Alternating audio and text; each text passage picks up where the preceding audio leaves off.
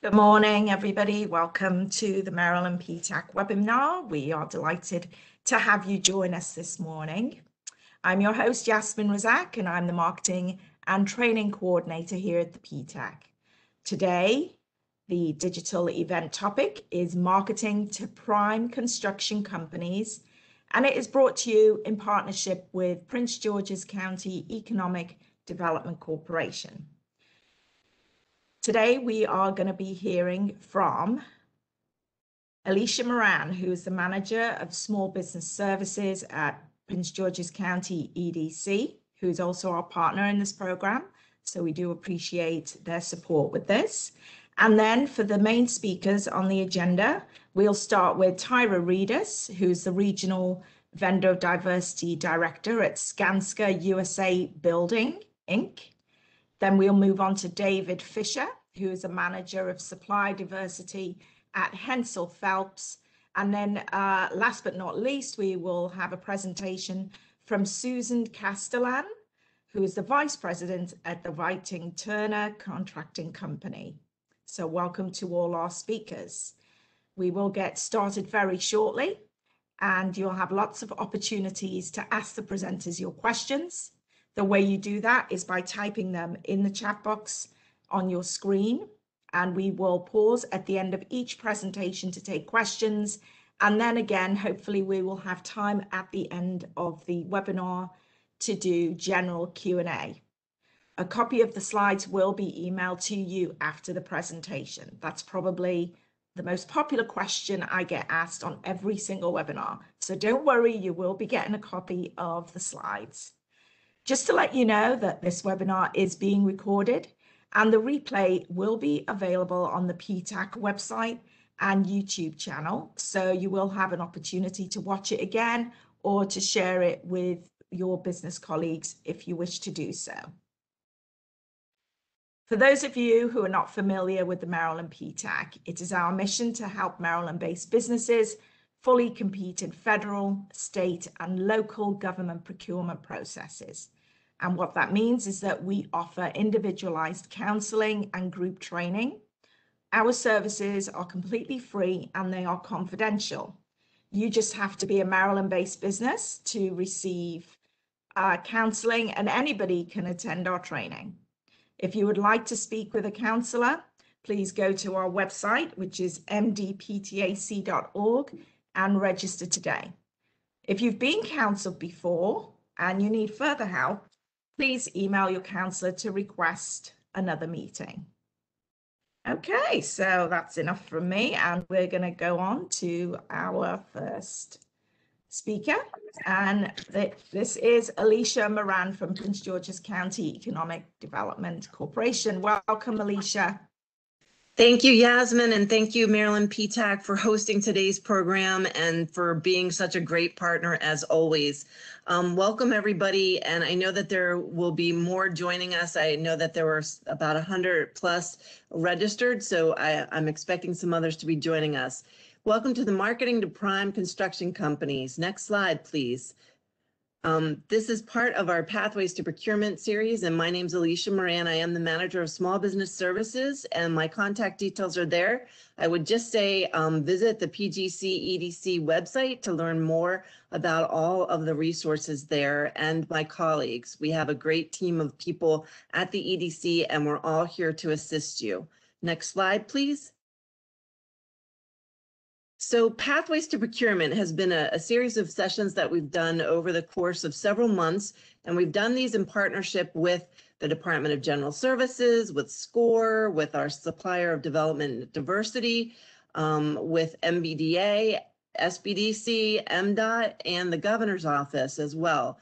So today we're pleased to be partnering again with the Maryland Procurement Technical Assistance Center. And I'm hoping that all of you here, if you don't already work with them, that you do sign up to get a counselor and begin to work with them. Next slide, please.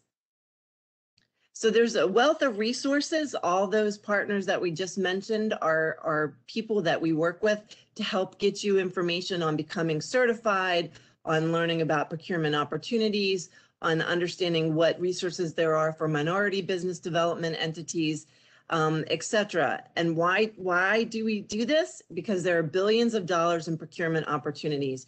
And listed below are just some of the federal, state, and local agencies that may be procuring dollars, procuring um, services and products from you, and it's worth billions of dollars. Next slide, please.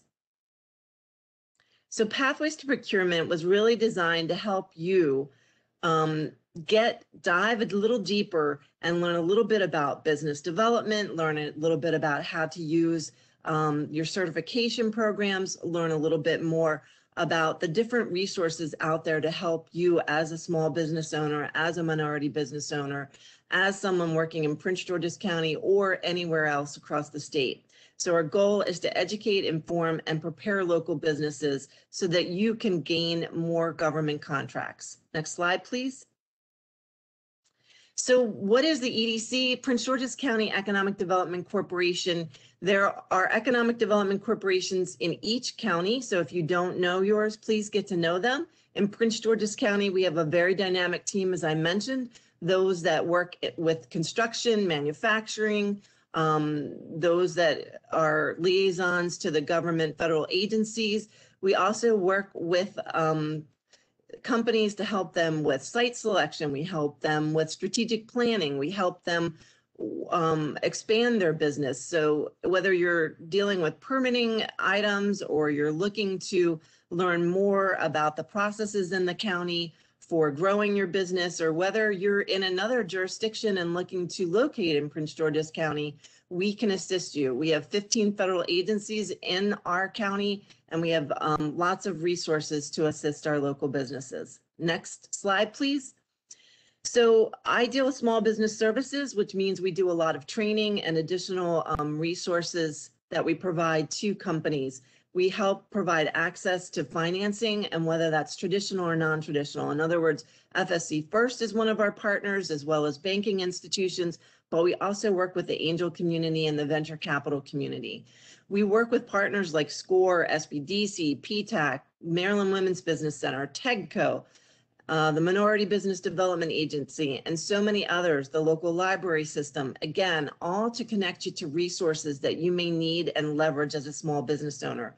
We also introduce you to other business incubators. In the county, we have several local business incubators and we work collaboratively among those institutions to help provide services to all of our businesses.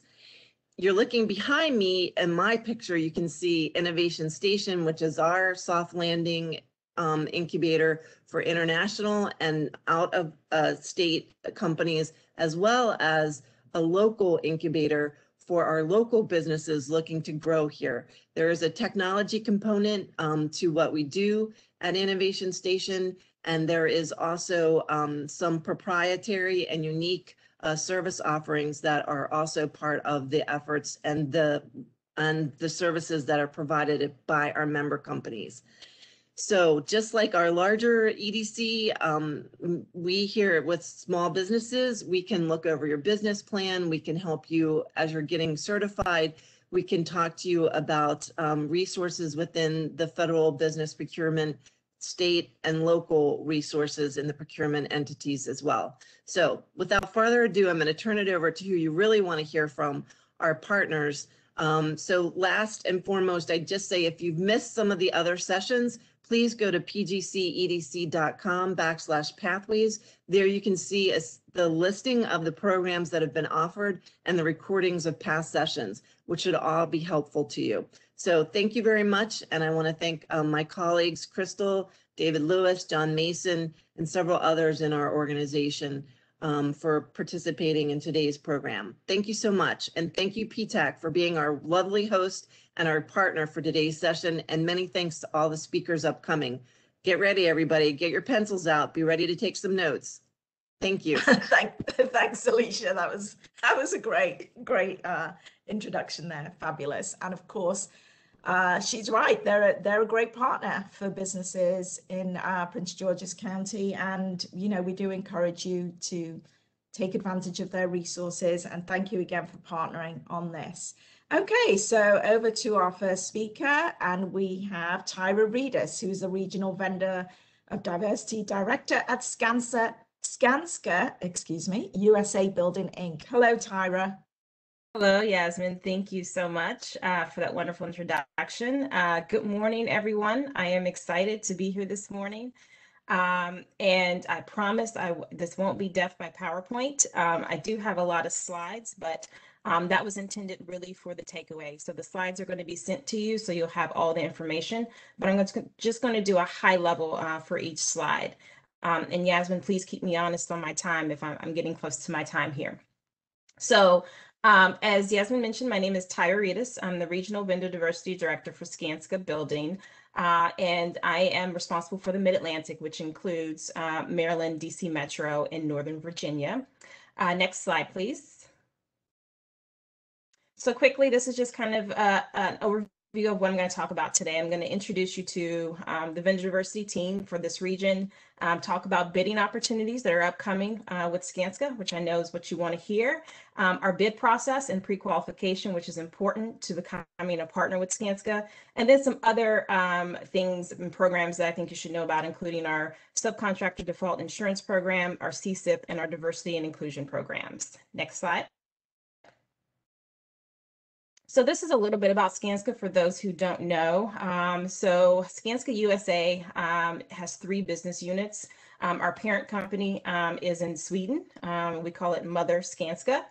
Uh, so we have three business units, building, which is um, the business unit that I uh, support. We have civil, and then we also have commercial development. usually we are averaging about a million annual community investment and about six and a half billion in, in revenue from 2020.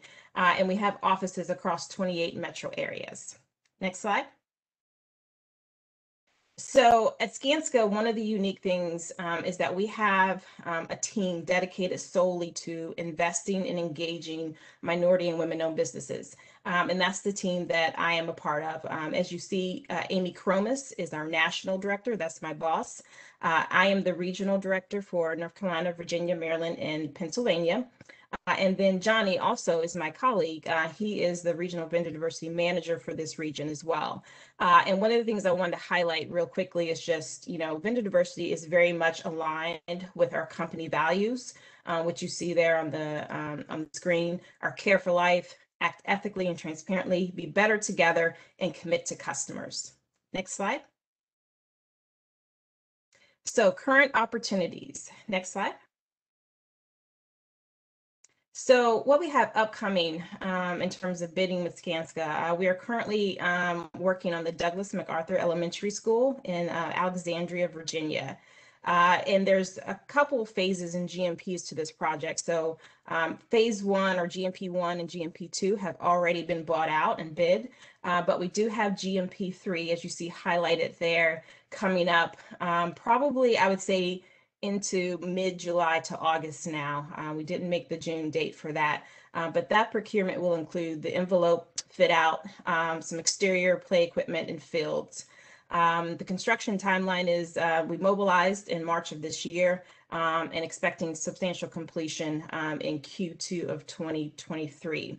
Um, and as you can see there on the screen, um, there are contacts. So again, these slides will be sent to you so you have these numbers. Uh, but the pre-construction lead is Tony Pereira. Uh, and the uh, construction lead is Joseph Kaifas. Uh, so please reach out to either one of those individuals if you have questions about uh, when the GMP3 might be coming out. Um, if you have any questions about um, the bidding process, you can either reach out to myself or either one of those individuals. Next slide. Um, another uh, really important project we have uh, rolling out is our George Mason University project. Uh, and so this one we actually uh, got selected for uh, last year. Um, but obviously with COVID, uh, a lot of the universities have had to reevaluate their funding, uh, particularly when it's state funding. Um, but the positive thing about this project is that it increased um, in budget from when we were selected for the project to, you know, now as we're getting close to um, procurement. Uh, so the budget started out at 53 million, it's increased to 68 and a half million. Um, and also with that, they've added another floor. So that's increased to uh, the square footage to 135,000. Um, this one is expected for procurement buyout in Q4 of this year. Um, and then a construction start of Q2 of next year. Uh, and this, um, as you'll see in a later slide, does have a SWAM goal of 50%. Um, so we're certainly looking to partner with um, small uh, women um, and minority-owned businesses that are certified as SWAM uh, in Virginia. Next slide. So, how do you how do you bid one of those opportunities that I just talked about? So um, our exclusive bidding um, software is through Building Connected. And so you have to have a profile set up in Building Connected. Um, there is no cost, there's no charge to set up a profile. As you can see on the screen here, you simply go to create an account. Um, if you don't already have one, um, and input your company information and um, include your enterprise type if you are currently certified with any of the uh, regional uh, jurisdictions. Uh, and then that will create your profile and that will get you uh, into the um, the bidding process. So whenever uh, bids come out for those projects that I mentioned, either Douglas MacArthur, GMU, or any other projects that we have, you will be included in that bid list and you'll get an email about bidding opportunities. Uh, and I see a question uh, in the chat. So it's SWAM, it's S-W-A-M, and that stands for Small Women and Minority. And that is the certification designation that Virginia uses um, for small women um, owned and minority owned businesses. And I can certainly um, share that information with how you go about seeking out SWAM uh, certification as well. Next slide. So I wanted to share a few quick tidbits uh, with everyone on, you know, how the best practices on how to bid with Skanska. Um, things I really want to hit on this slide are make sure um, that you are submitting complete documents um, and that you're providing all the information through your bid. Um, a lot of times when um, contractors don't submit a complete bid, um, then the, the team will have to you know, put in plugs, so to speak, um, or assume information that's not there. so certainly make sure that you're completing complete information. Uh, make sure that you're pre-qualified um, and I'll talk about that in just a minute because that is required before you can be considered a successful bidder with Skanska. Uh, and definitely reach out to our team. Um, so when you get notification of a, a bid opportunity, there will be um, an ability to communicate directly with our project planning team through Building Connected. Certainly use that platform to send emails and ask questions. And of course, I'm always a resource if you if you need some assistance with uh, a bid opportunity or have a question about the process. Next slide. So what if I win? Yeah, you know, I go through the process, I'm pre-qualified and I'm the successful bidder. Um, I think it's always important um, to sit down um, with uh, Skanska and our team um, and define a clear, complete scope of work and make sure that you're including everything in that scope of work um, that needs to be included uh, review the payment processes thoroughly. Um, I have to say Skanska does a really good job um, at, you know, making sure that we are adhering to all the prompt payment requirements. Um, but you want to be clear on what those requirements are because a lot of what we do is dictated by our owners and our clients as well and our contract with them. Uh, insurance requirements and subcontract signature execution, uh, and another part of this too is is making sure you're reading the subcontract very carefully, and don't be afraid to reach out if you have questions about any of the terms. Um, are we able to change all of the terms all the time? No, but we will certainly entertain a conversation um, if you have, you know, deal breakers um, or if you just have questions about any of those terms. Uh, and the other thing I want to mention here is, is also um, making sure you're coordinating your schedule and sufficient manpower requirements uh, for the project um, once you have been notified that you are the successful bidder. Next slide. So if you don't win, um, you know, this is a very important process, one that we are really working with our teams on, right, to make sure that this happens. Um, reach out and set up a meeting with our project teams um, our project planning team to find out really um, what were the the barriers or what were the things that prevented you from being the successful bidder um, consider asking for the successful bidder list, um, you know, to possibly come in as second or third tier subcontractor. There's always ways to continue to participate on a project if you don't win um, a first tier um, subcontract with us. After leaving, you know, one of these descope meetings, uh, make sure that you understand better our process and what our team is looking for when they're evaluating bids, because that's only going to help you um, eventually get to the point of working with us and becoming a partner. Um, and stay in contact. When you make contact with our team, um, definitely utilize that relationship. They don't mind emails, phone calls to ask questions because we're always going to have other opportunities. Um, there's not a you know one shot with this, so definitely make sure you maintain those relationships because they're going to be able to guide you for the next opportunity. Next slide. Pre-qualification. So as I mentioned, um, this is required for you to be the successful bidder with Skanska. Uh, and you'll see here, and again, you'll get these slides, but if you click directly on that link, um, that takes you to um, that web page that you see in the back there that says the pre-qual inquiry request, and that starts the process. So then you will get an invita invitation from our system called TradeTapp. Um, and once you accept that invitation, you can create your account and then start filling out the questionnaire and submitting all of the completed information. Um, and as you see there, Ellen Vajas, she is our pre-qual um, contact here in this region. Certainly, as you're going through this process, if you have questions, again, you can reach out to me or reach out directly to Ellen, or I can connect you to Ellen um, to address any questions you have with the process. Next slide.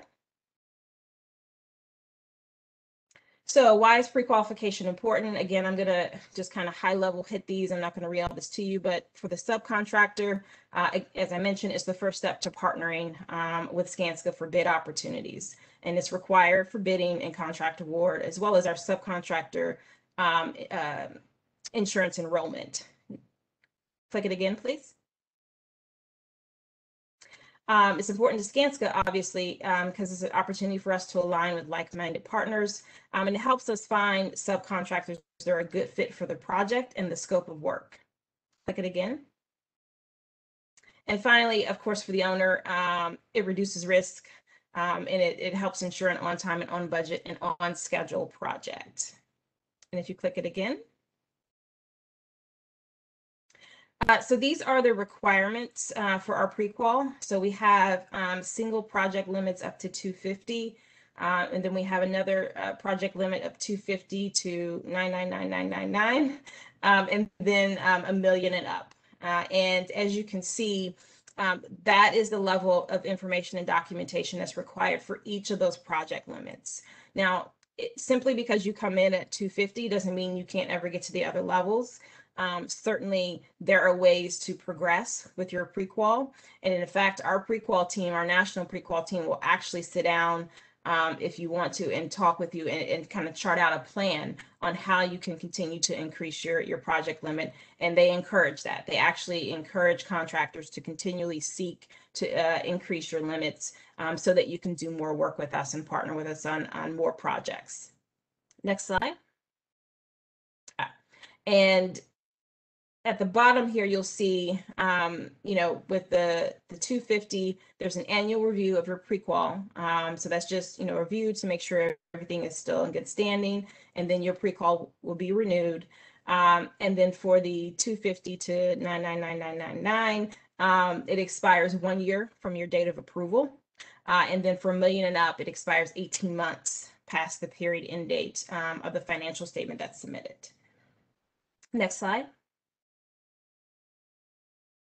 So these are just some of the things to be aware of um, when it's determined what your single project limit will be with Skanska. Um, obviously, line of credit and the amount extended, your working capital, payment history, references, and also safety performance. Um, that's one that gets missed a lot um, with some of our subcontractors. Um, definitely understand how your safety performance in the past will impact uh, your project limit and pre-qualification with Skanska. And again, you know, happy to sit down with anyone and connect you with our pre-qual team and really better understand the pre-qual process uh, and answer any questions that you you may have. Next slide. Um, so I want to talk a little bit quickly about subcontractor default insurance. Next slide. Um, so this is essentially an insurance policy um, that we purchase, the Skanska purchases, and it replaces traditional subcontractor payment and performance bonds. Um, next slide. And, and this really allows um, subcontractors the coverage of a payment and performance bond without affecting their own bonding capacity uh, with their surety. Um, and of course, it allows us to be more inclusive uh, of small minority-owned businesses um, who either don't have the bonding limits or may not be able to get a payment or performance bond for a particular project. Um, and we do offer this SDI on most of our projects in this region. Um, not all of the projects will have this um, included um, in our GMP, um, but certainly I will tell you most of the projects that I have been supporting in this region, we do offer the SDI. Next slide. Um, then real quickly, CSIP, um, as you may be familiar with, um, OSIP is Owner um, Controlled Insurance Program. We have a, a contractor controlled insurance program. Um, and again, it, it's just a way to, to, to really make sure that um, everything is seamless. Um, it's, it provides cost certainty to the client, uh, with Skanska being responsible for all the deductibles. Um, and it's based upon the contract value, not payroll. And it covers all tiers um, on the project site. The, so that would include all tiers of our subcontractors for each project. Next slide. Um, and again, this is a lot of words and a, a pretty interesting graphic. Um, but what I want to point out is that, again, our CSIP program really allows for greater MWDBE participation um, because, again, it's providing those insurance for everyone on the project. Um, and in particular, you know, we know some of our small businesses, um, insurance can be a barrier uh, to your participation on a project. Next slide. Um, so finally, I just want to go over um, commitment, our commitment to inclusion. Um, so I talked to you about us having a, you know, a structured vendor diversity team that's focused on this. This is our day job. Um, so we also have internal um, goals. So obviously sometimes our clients will give us um, goals for the project in terms of small women or minority owned businesses but skanska uh, is really committed to this and this is embedded in our values so we have an aspirational goal internally of 20% so on our projects like douglas macarthur because the owner did not give us goals uh, we have that aspirational goal of 20%. And the same with our commercial development projects. Um, so CD is one of our big clients. Um, so building does all the work for CD. Um, and because those projects are, are private through our CD business unit, they don't have goals, so to speak. At least we haven't gotten there yet. We're working on that. Um, but we do have an internal aspirational goal of 20%, and we accept all certifications and des designations um, for meeting those goals. And then, as I mentioned, the GMU project does have a SWAM goal of 50%, and you must be certified by the Virginia Department of Small Business and Supplier Diversity. Um, and there's the link there. Again, these slides will be provided to you. Um, and you can check out that link on and find out how to get certified um, with SBSD uh, as a, a small women or minority owned business. Next slide. Um, quickly, uh, we do offer mentor protege programs, both informally and formally. This is our formal program. And I'll just note for you the picture um, on the slide there. Um, so you'll see Ryan Holt. Um, he was part of the, the Holt brothers. They were um, a protege of Skanska in our Durham office. Um, and that picture is actually a picture of a lot of our um, Sweeten um, senior leaders. So uh, on the far right there on the picture, that is uh, Richard Kennedy, and he is our CEO of Skanska USA. Um, and then Anders um, is in the middle there, and I think he's he's part of the senior leadership for uh, Sweden, um, Skanska Sweden. Um, and you know, Ryan was so excited to take this picture. So what happened is they came out to the project that Ryan was actually working on as a protege um, to tour it. Um, and he asked them if he could take a picture with him, um, and they happily agreed. Um, but this is just one of the ways that um, our proteges are able to interact with um, senior leaders in our company. Um, but we do offer a formal mentor protege program. Next slide. Um, also informal mentoring, just quickly, um, these are pictures um, on the left there. That is a uh, minority-owned business in North Carolina that actually teamed with our business development uh, lead in North Carolina and she is actually working with them on helping them bolster their business development and really helping them grow that part of their business. Um, and again, that's informal, but she's she meeting with them and she's also learning from them as well. They shared really good tidbits with her as well um, for business development growth. Uh, and then on the right hand side, Bluebeam training. So we actually had one of our pre-con directors in the Durham office. Um, he actually set aside a you know a few weeks to sit down and train one of our minority businesses on Bluebeam. They had uh, purchased the software, but didn't really know how to use it and hadn't had the time to really invest in the training. And so we offered that training to that business for free. Um, and our, you know, Skanska professionals are always happy to support in that way. Next slide. Um, finally, I want to talk a little bit about construction management building blocks, and that is our training program for small uh, women and minority-owned businesses. Um, and really, it's it's focused on you know engaging, providing opportunity, and creating partnership. Next slide.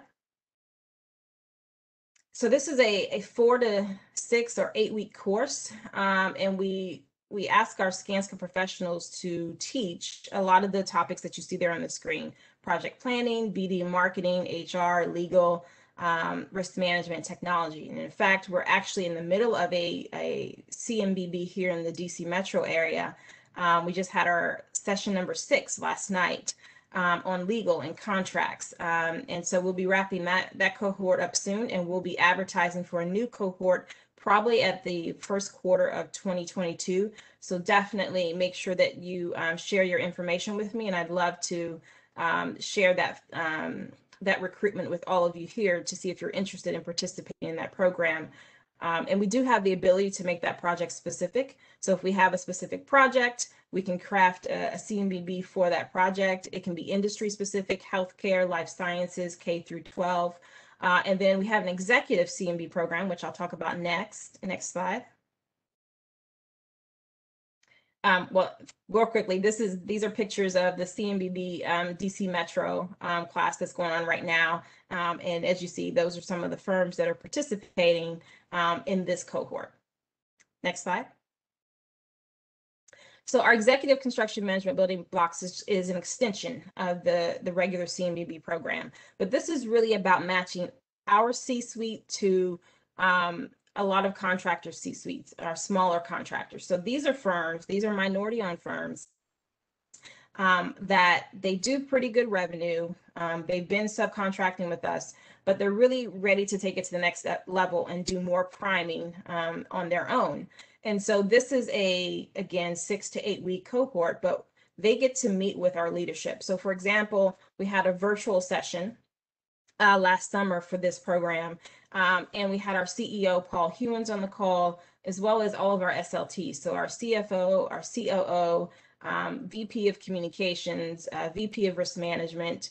Um, those are just the likes of the individuals that are on this call. And in fact, uh, I like to tell the story that our CEO actually shared his cell phone number with one of these firms and said, hey, give me a call if you just want to bounce ideas off of me. So that's the type of interaction um, and engagement that you get through this program. Next slide. Uh, and I see a Hi, question. Uh, sorry, sorry to Go ahead. interrupt. I just wanted to find out, um, you know, if, if there was, there were many more slides, just bearing in mind that, um, we have, um, two other speakers as well. I just wanted to make sure that we didn't go over anybody's Absolutely. time. All Yes, right, absolutely. thank I am wrapping it up. Thank you. Um, do any of these trainings cost? I see a question in the chat. Um, no, they are free of charge um, to the firms. Um, so there is no cost. Um, and again, this is just a picture of um, that executive CMEB cohort that I told you about from last summer. And if you look in the second row, third down, that's our CEO, Paul Hewins. Next slide. And again, this is just an example of the type of uh, success um, that we've seen from the firms who participate. So GMS is a company in North Carolina, and she began um, subcontracting with us in 2015. She participated in this program in 2016, and she's gone from 12,000 in um, revenue to 5.3 million. Next slide. Finally, key contacts for everyone. Um, this is my email address. Please take it down. I can also put it in the chat. Um, Melvin Clark, if you have any questions about pre-construction, any of the, the current opportunities, and if you have pre-qual questions, please reach out to Ellen or I can connect you directly to Ellen. Next slide. Thank you. Um, I flew through that, but certainly everyone will get the slides. Um, and you can certainly reach out to me with any additional questions that you have. Thank you. Thank you. Thank you so much, Tyra. We do appreciate how thorough you've been, and I'm sure the attendees will when they receive your presentation. Um, so thank you again for that. So of course, if you're interested in doing business with Skanska, please do reach out uh, to Tyra and her team. So now we're going to go over to our next speaker, who is David Fisher. He is the managing, ma- sorry, manager of supply diversity at Hensel Phelps. Hello, David. Good morning. Good morning. How's everyone doing this morning? We are doing just great, thank you. Well, I don't know how I can top Miss Skanska. You know, she pretty much had my whole PowerPoint with her her information. So we're gonna we're gonna get through this uh equally Thank you. equally beneficial. So so good morning, everyone. As uh uh Miss Yasmin mentioned, my name is David Fisher. I'm the manager of supply diversity for Hensel Phelps here in our Mid Atlantic district. I've been with the company for 14 years. In this particular role for about eight years. So I'm glad to be a part of uh, this event and, and telling you all about the opportunities that lie within Hensel Phelps. Uh, next slide, please. Next slide also. So for many of you who haven't worked with Hensel Phelps or know Hensel Phelps, uh, we're based out of Greeley, Colorado. Uh, our company was started in 1937 by Mr. Abel Hensel Phelps, uh, who started out as a small business. And, and that's kind of the root of our commitment to working uh, with our small business trade partners, is because we know um, what it takes to start a business and not only to start it, but then to maintain it. Uh, so, starting from humble beginnings, uh, starting as a small business, we've grown our company into a $9 billion uh, general contractor with companies or offices all across the country. Uh, next slide, please. As you can see here, uh, we're pretty much in every part of the country uh, with our home base uh, in Greeley, Colorado. My current district being in Mid Atlantic, which covers anything from Pennsylvania down to the upper part of North Carolina and as far west as West Virginia. Uh, next slide, please. Uh, recently, we are happy to, you know, with these uh, results uh, from ENR, uh, we went up one notch um, from number 13 in ENR's uh, top 400 to number 12. Uh, and all of the other aspects you can see here. And again, you will get these slides. So I won't belabor a lot of this information so I can get to the opportunities we have uh, with Hensel Phelps. Next slide, please. Uh, just another uh, demonstration of our commitment to small business engagement. Uh, what we take most pride in is the acknowledgement from our peers uh, by winning the ABC Excellent in Diversity Award eight times. It would have been nine consecutive times, but we didn't submit in 2014. So uh, we definitely appreciate uh, the acknowledgement from our peers. The Dwight D. Eisenhower is a federal award given out every four years, to which every time we were able to, you know, submit for it, we have won it. So that's 12 years of successful uh, small business procurement within the federal market space. Uh, next slide, please. So expectations, you can do next slide. So what makes us, you know, so successful in in this small business uh, contracting space is that we truly have an intentional approach. You know, we we don't go after uh, connecting with small businesses just to check a box, just to get uh, awarded projects. We really want to understand who you are, uh, what you perform, and, and how we can help you become better and scale your business. And that really comes from our leadership. You know, our top-down commitment um, from our CEO all the way down to our project superintendents, our project management teams, uh, are all committed to working with our small businesses and helping them grow. And similar to Skanska, uh, we have a committed department that focuses on small business engagement, small business utilization, small business development, and that's all we do is focus on how to work with small businesses and help them become the next large businesses that we partner with. Next slide, please. So how do we do that, and, and what do uh, how do we support those businesses? It's really building that connection, building that relationship. You know, when you work with Hensel Phelps, you're gonna you're gonna hear this term a lot. It's all about relationships. You know, having those conversations, really uh, listening le- more and talking less. You know, two ears, one mouth. You know, we want to hear what you have to say because that's the only way we feel that we can really support you and put you in a position to be successful. Uh, we don't want to just give you a contract just to say that we subcontracted with uh, uh, a small business. We want to make sure that we give you the right contract so that you can make money because that's what we're here to do is make money. Uh, we want to make sure that you are in the right position to be successful, scale your business, and continue to work with Hensel Phelps uh, for many more projects to come. Next slide, please. So one of the ways that we do this uh, is through our technical assistance program. This is typically it's a day-long event, um, but with COVID, you know, this year we had to do it over a seven-day period, and that was really exciting because we actually got to expand this program to every other market within Hensel Phelps.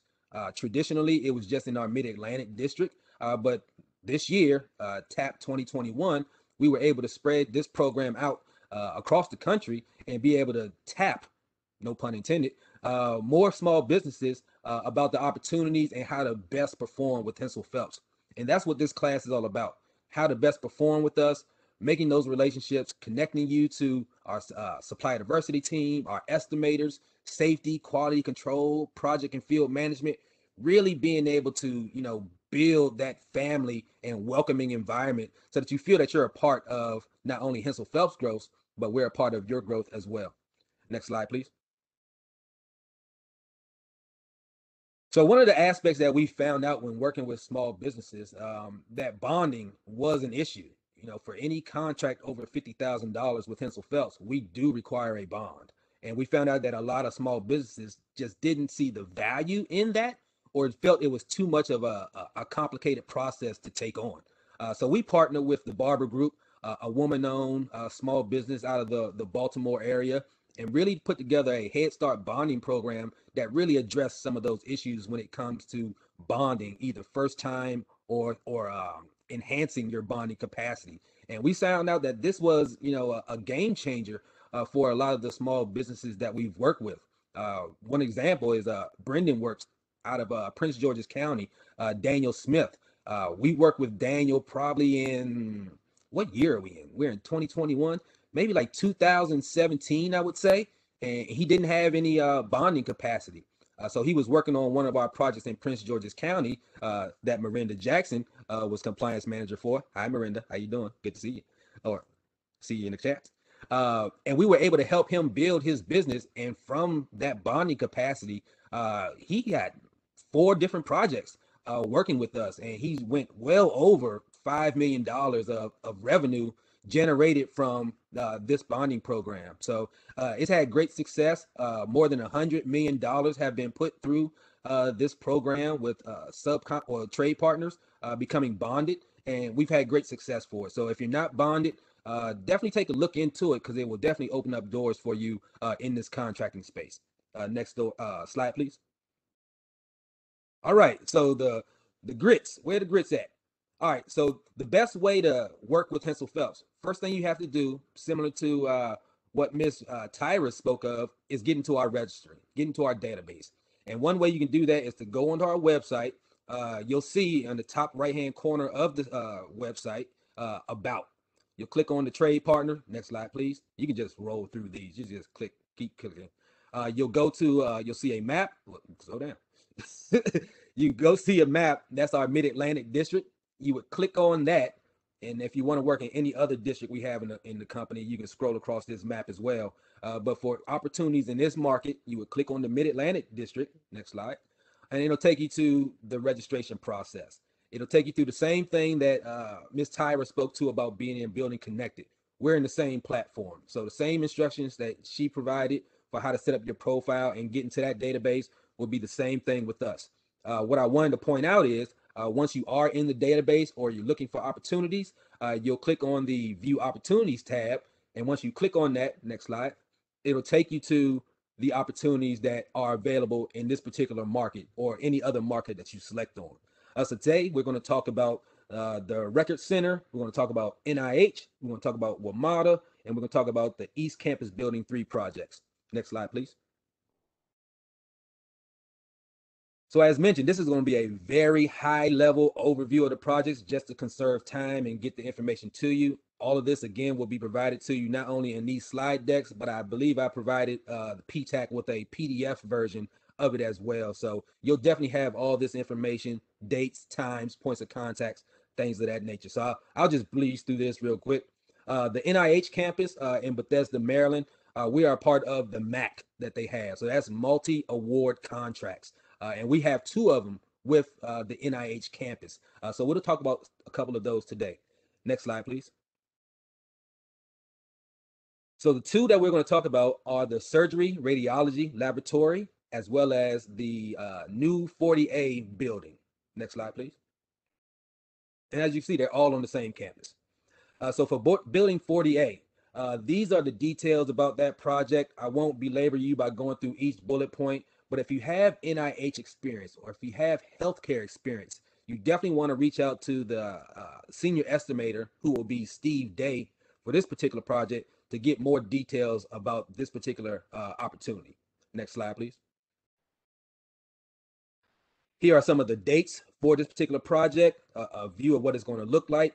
As you can see right now, we, we've passed the, the planning phase. We're currently in the design phase and we're also in the bidding phase. That will uh, begin, these say 2020. That must be wrong because we're already past that. Uh, so we're looking at still taking on uh, interested bidders. Uh, so I would definitely recommend you uh, register in Building Connected and then look out and reach out to uh, Steve Day for these particular opportunities. Uh, next slide, please. These are the scopes that will be available. You see, we, we cover everything from Division One all the way to, let's see, all the way to Division 10 and 16 and 15. So uh, if you're part of any of these scopes of work, if you provide these services, uh, please make sure that you reach out to us for this particular opportunity. Next slide, please. Here's uh, Steve Day's contact information. Again, you'll have this uh, in the slide deck as well as the PDF. Next slide, please. The next project on the uh, NIH campus is the surgical or surgery radiology lab medicine building. We like to put acronyms to stuff. So SRLM is the project you'll be referring to uh, when you're talking about this particular project. More details here, 650,000 square foot building uh, for new surgical and radiology lab on the NIH campus in Bethesda, Maryland. Next uh, slide, please times, dates, details. Let you look at that for a minute. Minutes up. Next slide, please. And this is the point of contact. Uh, Mr. Jay Withington would be the senior estimator for that project. Next slide, please. So now we're going into uh, what we currently have. You know, we currently have these projects in the bidding process and on the books, and we're and we're making moves to solicit uh, these scopes of work. We've had a couple of outreach events for these already. If you haven't been a part of those, uh, please let me know. You can send me an email. Uh, my contact information will be at the end of this presentation. Uh, so please let me know if you are interested in these WMATA projects that we'll be discussing. I can send you the PDF from the previous outreach events for these uh, particular projects. Uh, next slide, please. So this project will be in Northeast DC. It's going to be on Bladensburg Road, and I think by Bladensburg and uh, New York Avenue is a particular aspect of it. Uh, it's going to be part of another project that we did for WMATA on the Shepherd Parkway, which is southeast DC, right by Blue Plains Water Treatment Plant. So it's going to be a, a, a project in northeast DC, but then it's going to be a second phase to a project that we previously did eight years ago in southeast DC, and it's going to be a, a joint double project for this particular Bladensburg bus garage opportunity. Uh, next slide, please.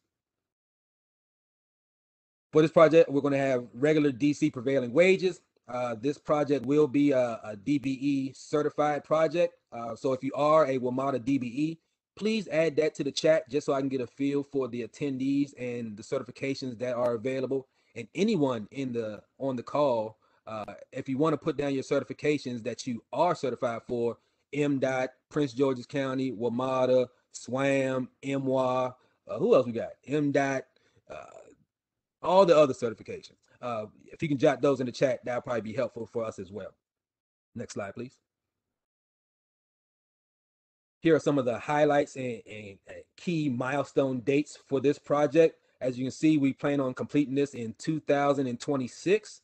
Uh, so that gives us about five years until this project is completed. So we have plenty of time to get engaged, be connected, and, and then build those relationships with our estimating team, which we always highly suggest. Next slide, please. Again, some more uh, key dates and, and bid packages. Uh, you again, you'll have this information readily available, uh, but this is some good information so you can set your schedule to see if it's in line with any current procurements that you currently have uh, in your pipeline. Next slide, please. Scopes of work for early procurement. So these have been either already contract or in the process of being contracted. So if you have any of these services available, it still probably wouldn't be a bad idea to reach out to uh, Jay, uh, it's Jared Lohman for this particular project, and, and, see if these opportunities are still available or how you can support them if you do provide those services. Uh, next slide, please. Some follow-up uh, bid packages for this particular procurement. Uh, division one, earthwork, uh, things of that nature, and then you know your division threes and your fours for your concrete and your metal and steel pro steel packages. Next slide, please. And again, this is the point of contact, senior estimator Jared Lohman, uh, who works out of our Shan, uh, Tyson's Corner office. Uh, he will be the procurement officer or lead uh, senior uh, senior estimator uh, over this project. And reach out to him anytime you need. Next slide, please. HRO. this is in Prince George's County. So this is going to be on Pennsy Drive and Veterans Parkway over in that area. And I believe it's directly across from the Carmen Turner training facility. If, if you're familiar with uh, that area of Prince George's County, this is where that project will be. Uh, we will have uh, additional WMATA requirements for this as well. Uh, next slide, please. It'll be similar just to the, the Bladensburg Bus Garage project when it comes to certifications, prevailing wages, uh, things of that nature. Uh, here are some of the details about this particular project. 375 square foot shop and office building with 12,000 linear feet of track work for this project. Next slide, please. Again, some of the bidding requirements. Uh, next slide. Some important bidding opportunities and dates uh, that you'll be able to refer to either in the slides or the PDF that will be provided to you. Uh, next slide, please. Scopes of work uh, for early first quarter. If you have any of these services, uh, please reach out to the senior estimator whose information will be provided at the end of this uh, particular section. Next slide, please.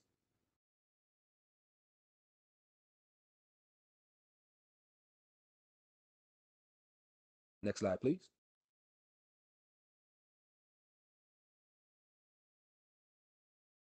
As you can see, we, we cover everything. Uh, so hopefully in, in some form or fashion, uh, you'll be able to find an opportunity uh, that fits your, your current services provided. Uh, and if you are WMATA certified, again, uh, please let us know about that. Next slide, please. Um, we, we're having a question here. Will the small business subcontractor be required to comply with FAR and or DFAR compliances? Or are the opportunities only non-government awards? So Um, for The, yours, the the only government awards that we have will be in the later uh, sections for our uh, Fort Meade projects. Uh, these particular projects, these are private projects, so FARs will not be applicable uh, for the NIH campus projects or the WMATA projects, but they will be applicable to our uh, ECB and our uh, Fort Meade projects, and we'll discuss that when we get to that section. Thank you. David. Um, just real quick too, are drones used in your work? Um, we've have used drones before. Uh, it depends on the campus, right? You know, we're in DC, uh, so there are a lot of different drone requirements. But I'm sure if you're a drone operator, you are aware of, of those requirements or restrictions, uh, depending on you know your flight path or, or where you're at in proximity to to Washington DC. Um, we haven't turned down an opportunity to look at it or have the conversation. Uh, so if you do have those services, uh, we'd be more than likely to uh, entertain those discussions. Nothing, nothing to pose with using technology. We actually fly drones ourselves. Uh, it's just tricky in this market, uh, so we haven't done it here. But as a company, uh, we do have certified drone pilots uh, that are uh, HP employees. So we, we understand the, the value that drones do bring, either from a, uh, a surveying standpoint or even final uh, final production footage uh, to hand over to our owner about the the end uh, product. Thanks for that answer, David. You have a couple of minutes left uh, in your Okay. presentation. Next, next, next, next. Slide, slide, slide, slide. Go, go, go, go, go. All right. So now we're getting into our, our federal projects. Uh, so East Campus Building Four. Now we've been on Fort Meade's campus for multiple projects, uh, probably at least five of them. So uh, we know the campus very well. Uh, we know the client very well. Uh, so if you are interested in working on the the Fort Meade campus for this particular opportunity, uh, please make sure that you review the requirements uh, right here um, and then be able to reach out to our estimator for this project. It's going to be very little information because this is still in the procurement phase. We haven't won this project yet. It's still being bid out to other uh, major general contractors, but this is a project that we are pursuing. Next slide, please. And Mr. Woodling will be the point of contact for this project. Next slide. Uh, this is another project on that Fort Meade campus, the RCR slash MF project, uh, record center replacement and mercury floor project. Uh, some basic details about this particular project. Again, this is still in the bidding phase. And for this particular project, we will have a standalone outreach to discuss the specifics about this project on July 22nd. Uh, we'll be sending out those notifications probably after the, the 4th of July holiday. Uh, so make sure that uh, either you put your contact information in the chat or we have it somewhere available through the information through your registration information so we can add your your names and your details to that solicitation list when we do send out uh, that marketing material for this particular outreach event next slide please uh, this will be the point of contact uh, if you wanted to get some details on it prior to this event uh, Mr. Troy Rector will be the senior estimator responsible for overseeing this project. Next slide, please. We are teaming with MC Dean in Southland. So if you are Division 15 or 16, you know, electrical, mechanical, if you have any relationships with any of these two major contractors, uh, please reach out to them uh, and see what type of opportunities do lie uh, within their company because we do have trickle down uh, participation requirements that they will be responsible for as well. A lot of our larger uh, mechanical uh, packages are they can range anywhere from five to fifteen million dollars, um, and that's really not in the scope of a smaller uh, mechanical or electrical contractor. Uh, but there are opportunities to either be a supplier, a vendor, you know, uh, debundling opportunities to get a smaller chunk of tho- those of those larger MEP contracts. Uh, so please make sure that you uh, utilize the resources who are also team members for that project. Uh, next slide, please. And you'll see some of their contact information here. So just some additional resources to reach out to uh, to kind of put another arrow in your quiver uh, when you are trying to find opportunities to work with Hensel Phelps. Next slide, please. So to wrap it all up, you know, some final tidbits. You know, in addition to uh, what Miss uh, uh, Tyra mentioned, you know, always get a debrief. You know, if you're not in a successful awardee of a project, you know, it's very valuable to get that feedback of where you didn't meet the meet the meet the, meet the requirements. You know, so get a debrief is very valuable information. Make sure you're certified. If you're not certified, you know, take those steps to to do it. It, it, pays out in the end. Um, make sure that you consider uh, the opportunities with Hensel Phelps in our trade part or our resources and then always maintain you know positive and open lines of communication uh, that's how you win stay persistent you might not get the first opportunity but if you stay persistent and stay connected then there's going to be an opportunity for you that fits your your procurement model and your, and where you want to take your company. So just stay engaged with us and we'll always be here to support you. Uh, next slide please. Here's my contact information. If you ever need any resources, if you need any updates on projects, if you need any updates on any uh, bids that you submit, you know, you can always utilize me as a resource in addition to the estimators that you've been working with for those projects. So uh, thank you all for letting me speak. Thank you all for taking the time to be interested in Hensel Phelps opportunities. And I look forward to hearing from you and working with you in the very near future. I think that's my time. Thank, thank you, David. That was very thorough, and I loved seeing all those examples of real life opportunities coming up. That's really invaluable to our clients. So thanks again. And we're going to move swiftly on to our final speaker, um, who is Susan Castellan. He, she is the Vice President of Whiting Turner Contracting uh, Company. So welcome, Susan. Thank you. Good morning, everyone. Um, I'm going to say uh, David and, and Tyra did an outstanding job, and there's going to be some duplication here. Um, next click, please. Um, just to give you a little bit of background um, on Whiting Turner, we were founded in 1909. next slide, please. I'm going to try to move very quickly through here because, like I said, many of the stuff, many of the things that were expressed by both Skanska and Hemphill are very common to what we do as well. There's some variations, um, but we'll, I'll try to hit on those in particular. But to give you some background on Whiting Turner, we've been around for 112 years. Our focus is really on customer relationships, and we have quite a bit of repeat business. And um, the way we do that is we perform well, and the customer wants to kind of take us along to their next project.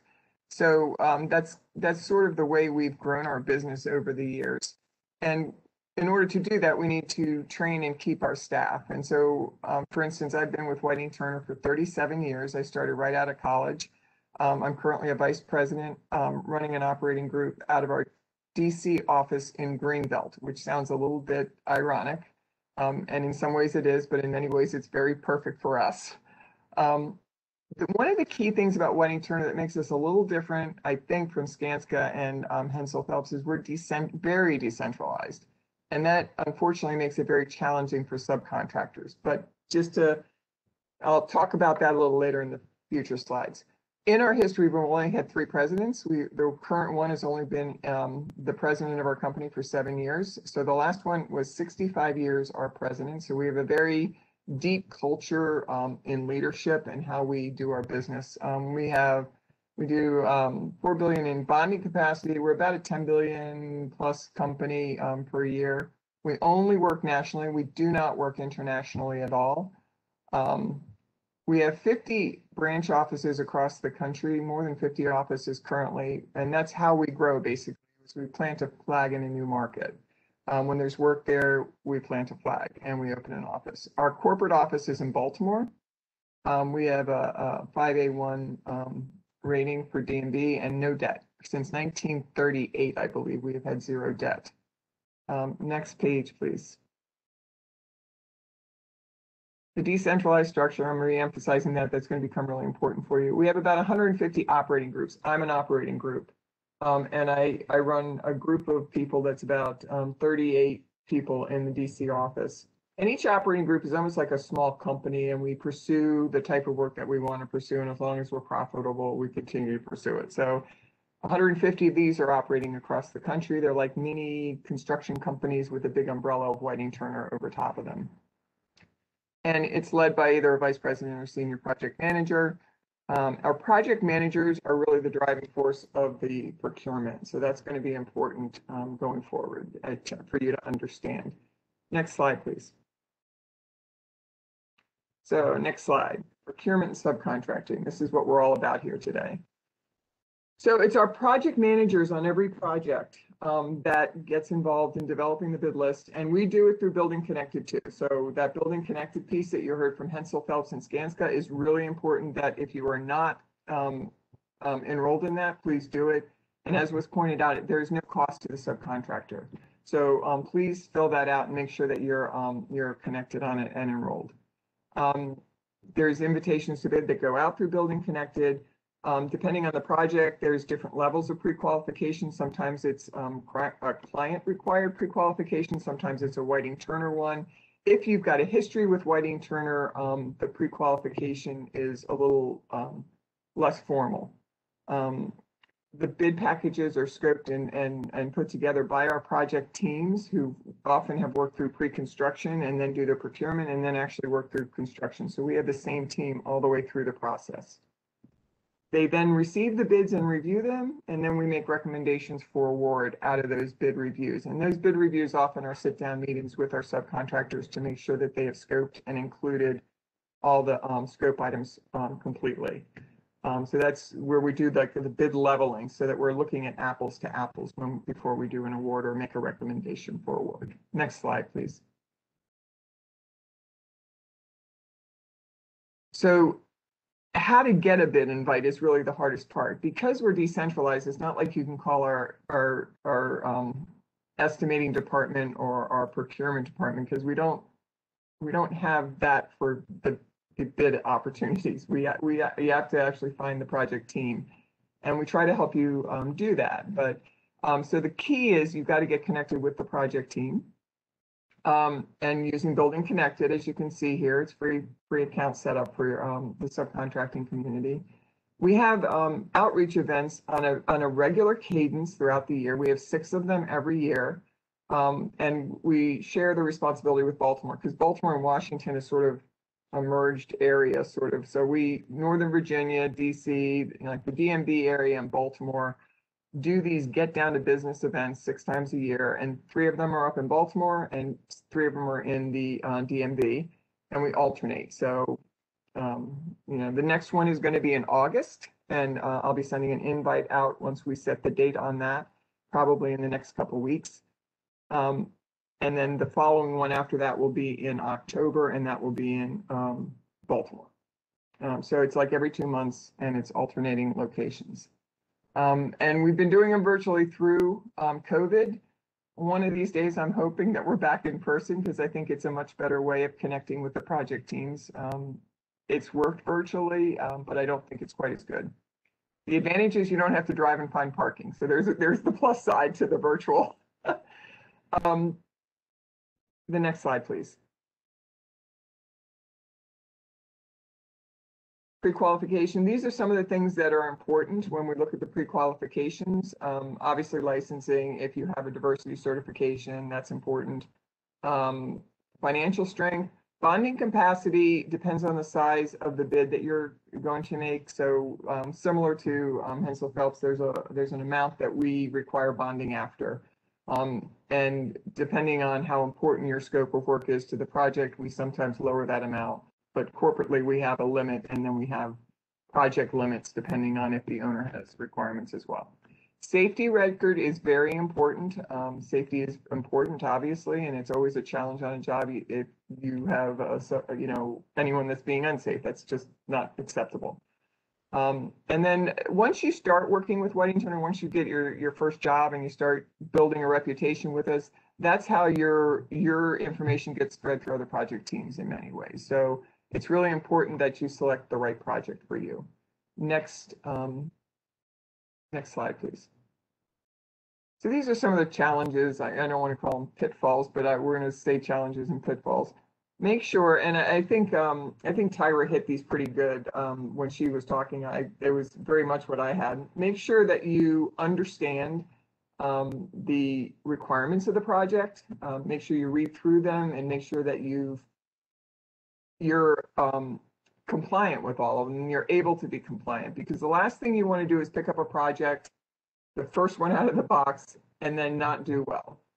We want you to do well, but you got to help us make sure that you're uh, the right fit for this. So uh, we don't want um, we don't want you to have egg on your face and to um because it's harder to recover from that. We want you to perform well. Um, make sure that you submit as full a proposal as you can. Next slide, please. Understand the scope that you're proposing on. Make sure that you're really clear if there's some gray areas ask questions. Um, if, if for some reason you're, you've got to exclude one part of the scope, make it very clear that you've excluded it.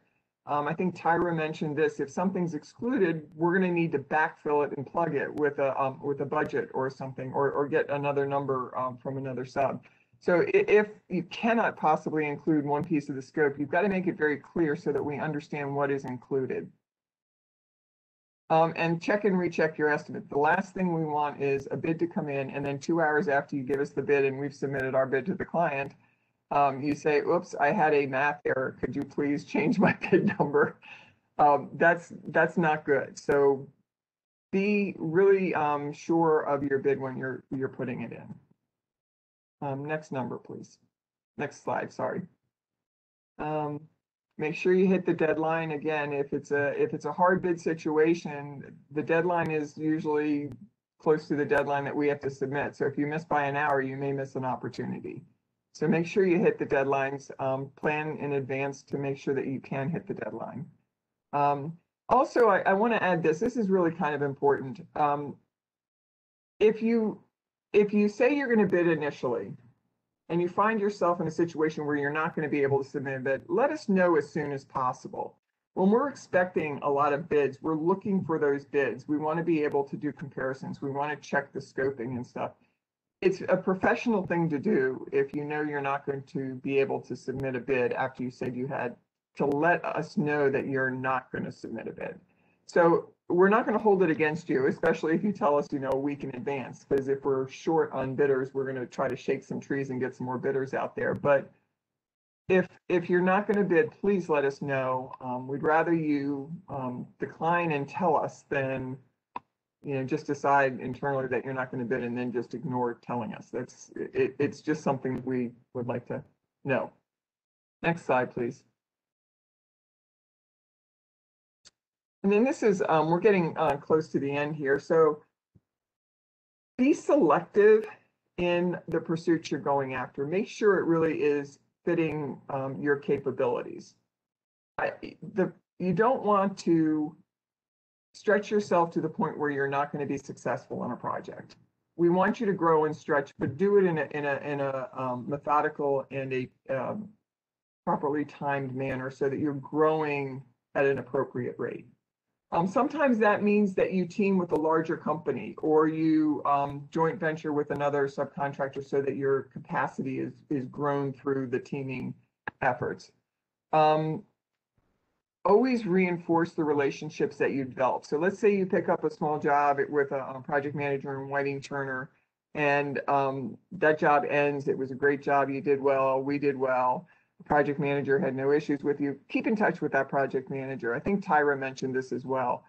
That project manager is going to grow his career in Whiting Turner. He's soon going to be a vice president. If you followed him, you're you're going to grow with him, and he's going to continue bringing you opportunities when you do well for us. So we, when you're successful, we're successful. It's a great relationship to continue to build.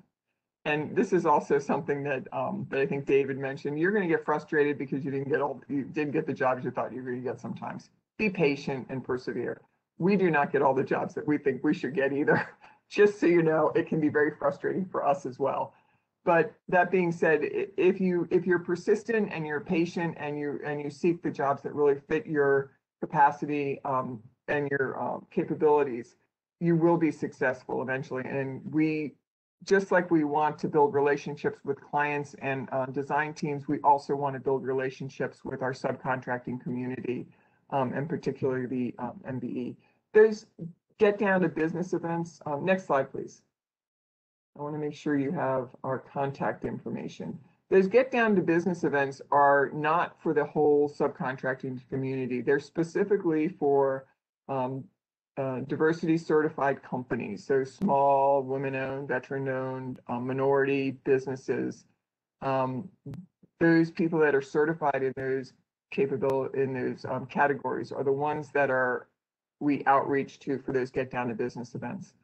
And there are also project specific events, um, like for instance, the Virginia Tech um, Innovation Campus that we're going to be doing. Um, I think that starts this year, and our GMP one was out. Hopefully some of you were on our um, list for some of the early packages there, but that package for that um, contract, for instance, is having specific um, outreach events as well as participating in our Get Down to Business events. So you're going to see multiple opportunities to get connected to our project teams. Um, what I'm going to encourage you to do is if you want to get on our invite list for the Get Down to Business, um, which will also get you access to some of the individual um, project um, outreach events. The contact information there, if you send, um, send me your information, I will be happy to um, add you to the list.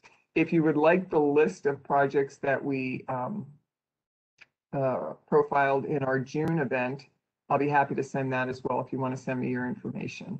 Um, and Joey Harmon is sort of my counterpart in Baltimore. She does um, a lot of the outreach in Baltimore and participates in that. And that's that's my uh, thumbnail sketch of Whiting Turner and how to get connected. So I'm, uh, any questions? Thank you, Susan, and thank you all to all the speakers for a fantastic uh, event. Um, lots of information, and I know that you will all be eager to look at these PowerPoints because I am going to be sending them out in the next few minutes. So I appreciate you staying all to the end. I know we went slightly over, but I think it was worth it. Um, any, I'm just scrolling through the chat box to see if there's any questions that we missed out on. Uh, one was to work at Fort Meade, do I need security clearance? Um, anybody on here that that knows that answer can jump in. Yes, Okay, you will be go. required to go through background checks to get on that campus. All right, great. There, there are no drones allowed on that project. Definitely not. Thank you, David, for that. Uh, the next question is, my company provides uniforms and safety wear. Are there any opportunities for my company? So I'm not sure who that was directed to, but if there's anybody that has any opportunities for safety wear, would like to, to speak up? Or Yes, we're always looking for that. So you can send me an email if you, if you want to.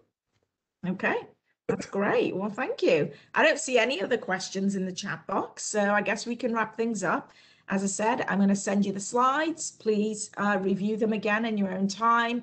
And if you have follow-up questions, you have all their contact information on there. Um, we will be sharing the replay. It will probably take uh, probably a couple of hours for me to get that up on our YouTube channel. So I will also send you the link to that so you can rewatch it. Um, I'd like to thank all our speakers. We really do appreciate everything that you do for the small business community. I'd like to thank our partners at Prince George's County EDC for being fabulous partners. And I'd also like to give a little shout out to our student assistant, Michael Dixon, who has been working behind the scenes, supporting me, live tweeting, um, and also he's getting to learn uh, a great deal about how to do these types of events. So thanks, everybody. Um, we hope to see you again very soon at a future Maryland PTAC event. Again, if you need help with any of your procurement issues, your PTAC counselor is waiting to help you. Just register on our website. Thanks, everybody. Take care. Bye-bye. Bye. Thank Thank you. you. Excellent program, everybody. Thank you.